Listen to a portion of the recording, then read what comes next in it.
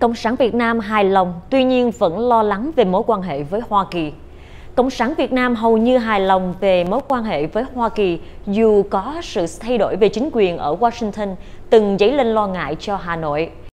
Ông Derek Grossman, một phân tích gia của tổ chức nghiên cứu chiến lược chính trị Rand Corporation, vừa viết trên tạp chí Diplomats vào hôm thứ Ba, 16 tây tháng 3 bài phân tích và nhận định về mối quan hệ giữa hai kẻ cựu thù sau khi có sự thay đổi chính quyền ở Washington. Tuy vấp phải những chỉ trích mậu dịch và chính sách tiền tệ, mối quan hệ giữa Hà Nội và Washington sau 4 năm dưới thời Tổng thống Donald Trump cũng có thể gọi là tốt đẹp.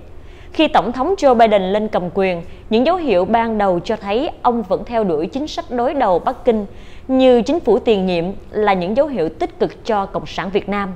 Tuy vậy, điều mà Hà Nội âu lo là chính quyền Biden không những có vẻ chỉ nhấn mạnh riêng về lợi ích chung, nhưng lại nhấn mạnh cả về giá trị dân chủ, nhân quyền và tự do.